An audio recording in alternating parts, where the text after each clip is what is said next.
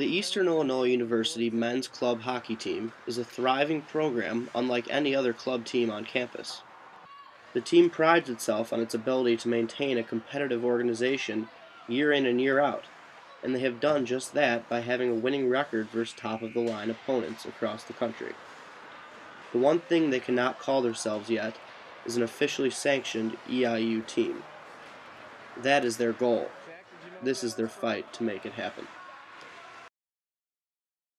Last year uh, marked like the first season that we really turned around. You know, we had our constitution meetings with the school every week, and you know, really defined roles. And we had a successful season, beat the uh, number one team in the league that we play in, the MACHA. So we did really successful last year.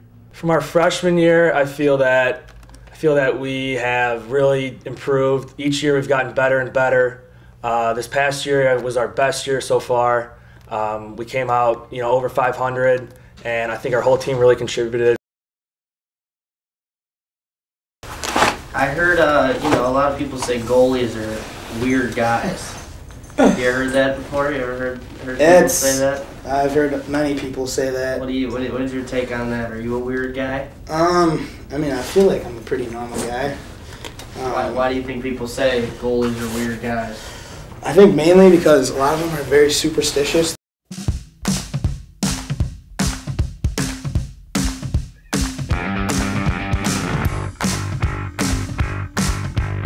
I mean, yeah, that'd be the ultimate goal was to be recognized as a school sport here. Maybe uh, get some fans out to some games, you know, come watch us play. Yeah, I've had these bad boys for a couple years now.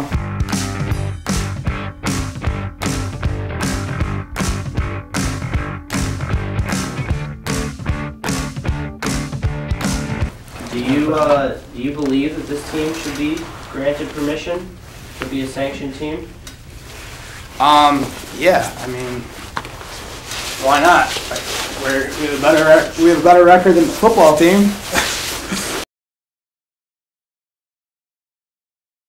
Um, as far as students wise, I mean, this, this, the campus loves us. I mean, they love coming to any like thing, any events that we host on campus.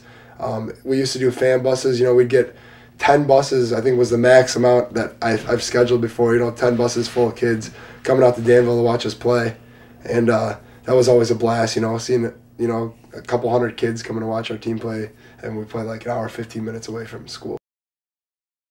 Probably everybody on the team, we just go out and play with our old teams. You know, get get some ice time in. You know, just get everybody going, keep the legs moving the whole summer, and you know, come in. You come in strong for the beginning of the season. You come in in shape, and you know, you just build off that. Also, we uh, we play rollerblades just like uh, ice hockey, a little different.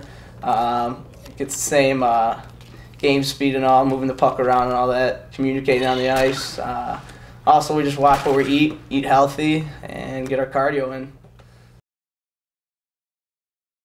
a lot of the college kids on this campus do come from the southern suburbs, uh, northern suburbs, Chicago area. They all know about hockey. Um, I feel like it would really do pretty well at Eastern Illinois. Um, our athletic department seems like ever since I've been here hasn't been as strong as other schools, and I don't see why hockey um, wouldn't wouldn't fit in well here. You know.